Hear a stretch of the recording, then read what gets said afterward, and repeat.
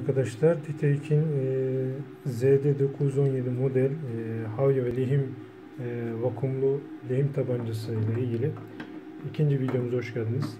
Videomuzu izlemeden önce e, lütfen kanalımıza abone olup videomuzu beğenmeyi unutmayalım. Burada neyi göstereceğim size? Aslında bunu ne için aldık onu söyleyelim. Lehimlemeden ziyade vakum için aldık. Çünkü vakum gerçek anlamda hayat kurtaran bir şeydir. Çünkü anakart ya da e, böyle elektrikli, elektronik devrelerin e, tamiratını veya tamir etmeyi düşünüyorsanız vakumlu havya cihazı almanız e, çok önemli. Çünkü neden? E, anakart ve devre ve devre elemanlarına zarar vermeden vakumla çok hızlı bir şekilde lehimi temizleyip e, arızalı olan parçayı çıkartıp yerine sağlam olan parçayı hızlı bir şekilde yapıyorsunuz. Şimdi bunun örnek olması açısından e, lehimi zaten herkes biliyordur mutlaka. E, vakum için konuşacağım. Bunu ayrı ayrı da kullanabiliyorsunuz. Yani şuradaki düğmelerden açıp kapatarak e, lehimi e, ayrı, e, vakumu ayrı kullanabiliyorsunuz. Şimdi e, buradaki ısı ayarlarını vakum standartta e, bu anakartın e, ürün sökeceğiniz ürünün ısı değerleri vardır. Ona dikkat etmeniz gerekiyor. Yani çok hızlı davranmanız gerekebiliyor. E, lehim özellikle sökeceğiniz parça için çok önemli değil ama e, baskı devrenin girişlerine yani buradaki lehim yuvalarına zarar vermemek için e, bu ısı şeylerini kontrol etmeniz gerekiyor. 300-350 derece arasında anakartın orijinal lehimlerini sökebiliyorsunuz. Tabi bunu yapmadan önce dikkat etmeniz gereken yani bir parçayı sökmeden önce mutlaka ve mutlaka pasta kullanmanız gerekiyor. Yani lehim pastasıyla e, sökeceğiniz devre elemanının etrafına bir parça sürüyorsunuz. Isı e, bu e, pastanız sıvı pasta da olabilir, normal pasta da olabilir. Sürdükten sonra ben hemen örnek olmak için şuradaki iki tane kondansatör var. Kondansatör bacaklarına sürdüm. Isımı 350 dereceye ayarladım. E, örnek alması açısından uç kısmını da ona göre ayarlıyorsunuz. Yani e, uç kısmının çok kalın olursa devre bacağına değmeyeceği için onu sökemeyeceksinizdir. Çok kalın olsa da içine girmeyeceği için yine sökemeyeceksinizdir. O yüzden sökeceğiniz parçanın e, ucunu taktıktan sonra burada uç değiştirme olayını e, birazdan göstereceğim. E, taktıktan sonra şu şekil hafifçe sağa sol yaparak vakumla emdiriyorsunuz. Lehimi temizliyorsunuz. Tekrar diğer bacağı da yapalım. Hemen sol sağ yaparak tamamını emdirmeniz gerekiyor. Eğer lehimi tam ememediyse tam emdirememişseniz yapmanız gereken bir hareket daha var onu göstereyim. Şu an bakın ben parçaya bakayım. Tam ememedi, ememedi parçayı. Sebebi e, fabrikasyon lehimlerde çok fazla e, sertlik derecesi çok yüksektir. Yani e, bunu birkaç kez standart lehimle yumuşatıp çekmeniz gerekiyor. Normalde bu anakart gibi e, kaliteli e, lehim yapılan ürünlerde yani robot yaptığı için bunların çoğunu genelde e, hızlı çok şoklu lehim ve kaliteli lehim kullanılıyor. Bundan dolayı sizin lehim elinde şu anda lehim yok onu gösteremiyorum ama anlatayım. Diyelim ki lehimi sökemediniz alamadınız diyelim. Çünkü orijinallerde kullanamıyorsun. Tekrar bir lehim yapmanız gerekiyor bacak iç kısmına. E, havyanızla pastayı da birlikte lehimi tutuyorsunuz. E, tekrar lehim yapıyorsunuz iki bacağı da. İki bacağı lehim yaptıktan sonra e, vakumlu e, havyanızı alıp tekrardan aynı işlemi yapmanız gerekiyor. Yani tekrar ısıtıp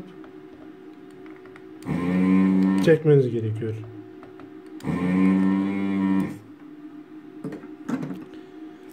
Evet daha sonradan zaten lehim yuvaları şu şekil boşalacaktır hemen ben. Biraz önce bir tanesini yapmıştım ben. Şöyle göstereyim. Bakın şuraya görüyorsunuz.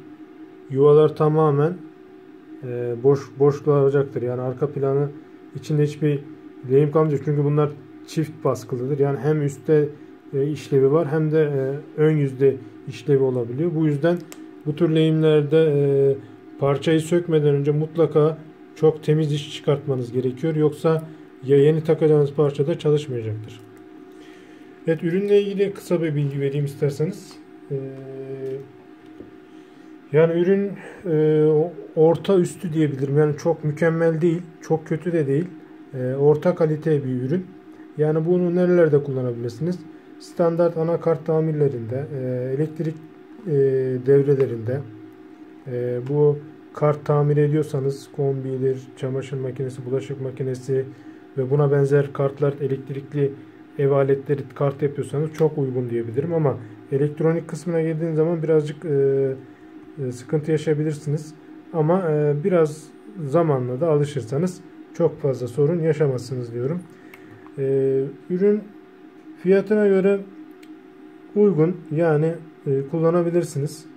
E, isterseniz ben bir parça bir tane parça bulup e, hemen e, yani standart elektrik kart devresi bulabilirsem hemen onda bir tane örnek göstermek istiyorum. Evet, şuradaki hemen örnek olması açısından e, şöyle göstereyim. Bakın şuradaki iki tane elemanın lehimini sökeceğiz. Öncelikle bir parça pasta alacağım. Lehim ayaklarına sürüp önce şöyle kendisini bir ısıtalım.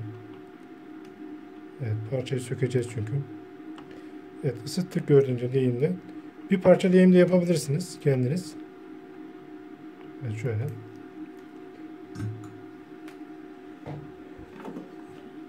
Daha sonra tabancamızı şekil tam uçları dek getiriyoruz. Evet şöyle hafif oynatıyoruz. Evet gördüğünüz üzere şöyle göstereyim.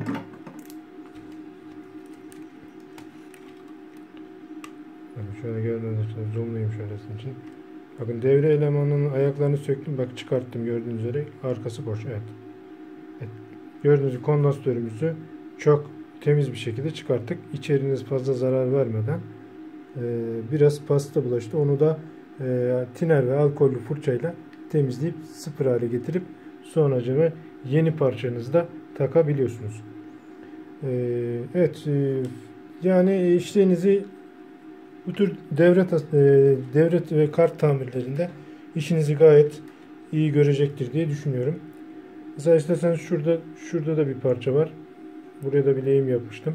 Onu da sökeyim isterseniz. O da kondansatör. Şöyle görmeniz açısından yukarıdan yapacağım bu sefer. Şöyle yan tutuyorum.